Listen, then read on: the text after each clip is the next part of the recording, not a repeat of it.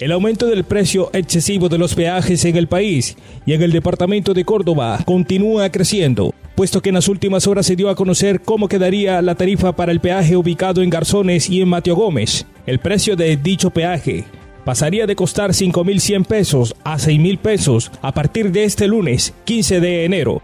Cabe mencionar que este es uno de los peajes con mayor flujo vehicular del departamento, debido a que conecta municipios como Cereté y Ciénaga de Oro con la ciudad de Montería.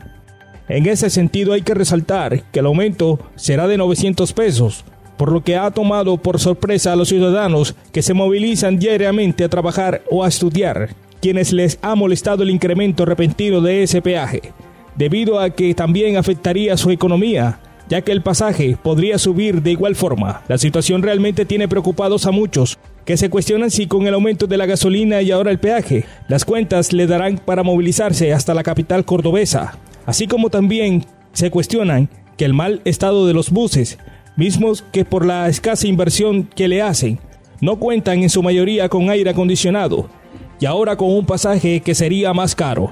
Recordemos que el aumento de los peajes estaba anunciado por el gobierno nacional. Decían que este sería igual al índice de precios al consumidor, que estuvo sobre el 13%. Sin embargo, el alza del peaje entre Monterrey y Cereté se encontraría sobre el 18%.